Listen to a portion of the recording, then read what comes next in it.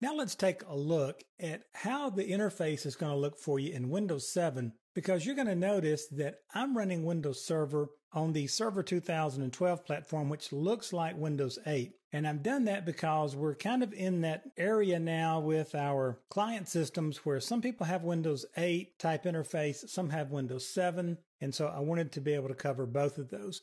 Now, if you're in Windows 7 and you want to go to the SQL Server management services, now that we've installed SQL Server, you'll simply come down to the Start button, click on it, and you can go into All Programs and you will see Microsoft SQL Server 2012. And then you can just click on the SQL Server Management Studio and that will open it up just like you see here. Once it opens up, then we're just going to connect to our SQL server and then start to run our commands, attach our databases and all that. We're going to go through that as we go through the rest of the course.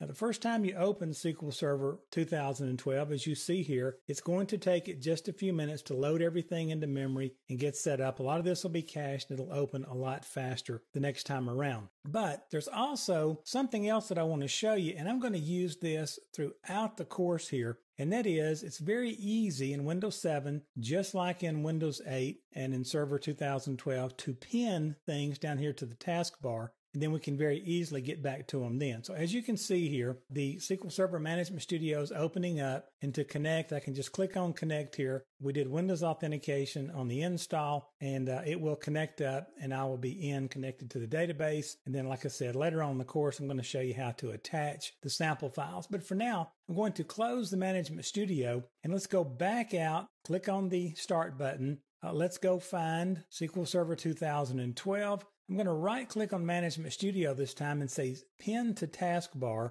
That puts it right here. I will right click on it again and pin to the Start menu. And so now I can either just click right here, one click to get it open, or I can come to the Start menu and go right here. Either way, it's the same thing. It puts us at the SQL Server Management Studio. So regardless of whether you're in Windows 7 or Windows 8 or Server 2012 type interface, you can always get back to this button, click right here, and just like that, you've got it open. And you're going to hear me a lot of times in this course say, open SQL Server Management Studio, open a new query, and we'll get started. And I want to show you that right now. So we're going to open SQL Server 2012 Management Studio.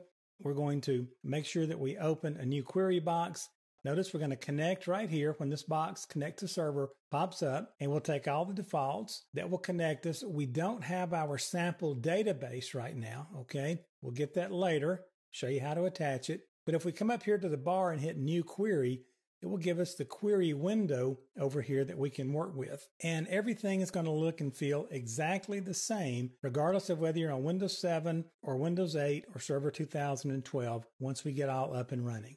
So I just wanted you to see the interface differences between these two. Not a big deal once we've gotten to this point, and we should be ready to go.